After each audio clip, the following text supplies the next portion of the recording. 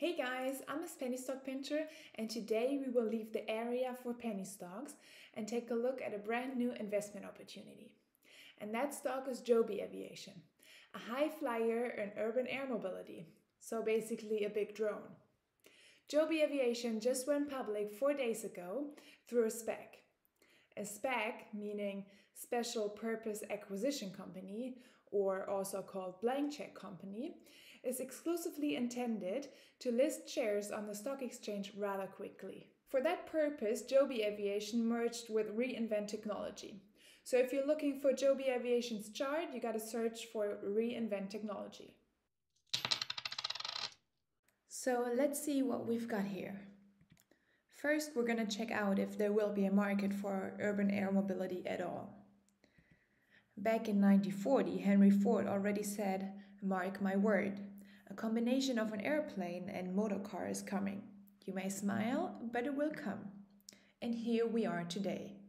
Flying has always been the dream of mankind and has already pushed through as the primary mode of transport regarding long and middle distances.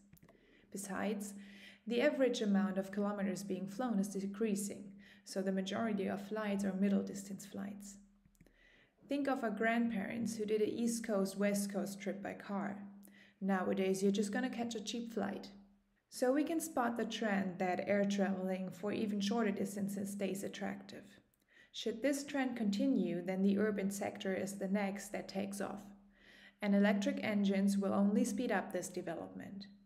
Nowadays, we have a huge amount of metropolitan areas and therefore lots of traffic jams. Worldwide, that traffic challenge gains importance, especially as you can see in Asia and South America. The passenger drone, you would not only save time by reaching your destination via beeline, but it is also a quite elegant way of traveling. If I could choose between an Uber or an Uber Air at a similar rate, uh, my choice would definitely be the later one. Also, Morgan Stanley is on the same page here and published a blue paper about it. Let's highlight the most important aspects, meaning the market estimates for 2040 regarding urban air mobility. Three scenarios have been examined a weak market penetration, the so called bear case, a moderate market penetration, the base case, and the strong market penetration, the bull case. For a strong market penetration, the technology has to be developed on the one side, and on the other, laws and legal regulations need to favor urban air mobility. The estimated yearly revenue for 2040, considering a bear case, is 615 billion US dollars.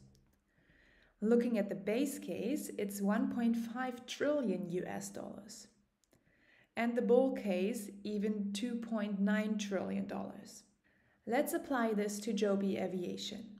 So, if Joby Aviation would only reach a market share of 5% regarding the bear case, that would mean a yearly revenue of 75 billion US dollars, a quite enormous sum. Quick comparison 2020, Tesla had a revenue of 31.5 billion US dollars. So, why Joby Aviation? Joby Aviation developed an all electric plane. That plane is supposed to reach the market maturity within the next three years. The plane's range is 240 kilometers with a maximum travel speed of 320 kilometers an hour. What I like best in Joby is the rather low noise level. And keeping that noise level down, especially while takeoff and landing in urban areas, is to me one of the biggest obstacles in urban air mobility. That flight taxi has a noise level below 70 decibel. We can see that that is something between normal speech and a vacuum cleaner. To me, that seems quite acceptable. To get an impression of the noise, here is a sequence of Joby Aviation CEO with a flight taxi taking off in the background. all of you in the global community for cheering us on. We still have a long and challenging journey ahead of us. But with the reInvent team at our side, we are one step closer to making this fantastic future real. Besides that, Joby Aviation has got pretty strong partners. Toyota and Uber Technologies invested together an amount of 470 million US dollars in Joby. And if well known companies are investing hundreds of millions of dollars, we can consider Joby Aviation to be well reviewed. But of course, Joby is not the only one wanting to discover urban skies. It seems regarding the American market, Joby is the most developed. Though based on flight hours and delivered products, Ehang from China is the global market leader. Even though Ehang's share price have dropped by a lot in the past days due to a short seller report. Because of the US location, Joby could push through, since a lot of customers are excluding Chinese products when it comes to safety relevance. Why did I buy today? During the past days, the trading markets have decreased, which offered a good investment opportunity.